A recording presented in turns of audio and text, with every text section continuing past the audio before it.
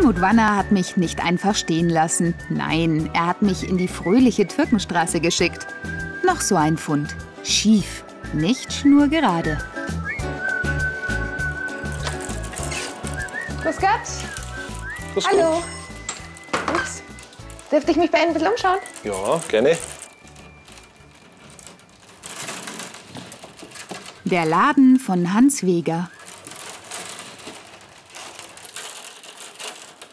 Herr Wieger, Sie haben ja tolle Sachen hier. Unglaublich. Dankeschön. Den werde ich jetzt gleich mal Probe wohnen hier. Ja, sitzen Sie noch drauf. Und was wird das? Das wäre der Holzkorb, also für Kaminbrennholz. Da ganz was Stabiles. Wie lange brauchen Sie dafür? Circa zehn Stunden.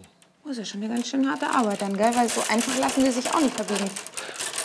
Nein, nein, das ist. Also die, die dicken Weiden, die gehen ja schon ganz schön In die Finger. in die Finger. Bloß ich bin es jetzt schon gewohnt, weil ich es ja Jeden ständig mache. Ne? Also das ist für mich kein Thema. mehr. am Anfang war das schon, war schon hart. Ja. Woher können Sie denn das Flechten so gut? Ah, Ich habe es von meinem Vater gelernt und war dann auch noch in der Korbfachschule in Lichtenfeld. Wo kriegt man denn so Weiden heutzutage her?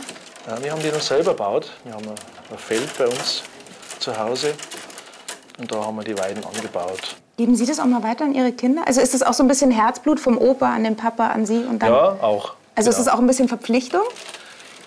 Also damals, wie ich angefangen habe, war das eigentlich mehr so eine Verpflichtung. Ja. Genau. Und für mich war klar, dass ich machen werde, weil mein, mein Vater und Mutter, die haben also fünf Mädels erst gehabt und haben halt immer noch hingearbeitet ab und zu. Ne? Und Damit jetzt- endlich jemand das Geschäft ist der übernimmt. Stamm halt der Kummer und jetzt so der, war klar, dass ich das weitermache. Ne? Ich habe gesehen, Sie haben hier einen Flügel im Laden stehen. Das ist ja auch was ganz Außergewöhnliches. Haben Sie keinen Platz zu Hause? Doch, ich hätte schon einen Platz, bloß äh, ich habe den gern da, weil das ist mein Hobby. Und ich, ja, ich komponiere selber ein bisschen. Und da brauche ich den, wenn, wenn ich gerade mal zum Beispiel beim Flechten bin oder so und dann kann sein, dass ich was im Ohr habe. Und dann, ja, dann springe ich auf und sitze mir am Flügel und setze das um. Ist ja toll. Spielen Sie für mich auch mal? Ja, gerne. Kann ich Ja, was selbst komponiertes hätte ich gerne. Na dann, auf geht's.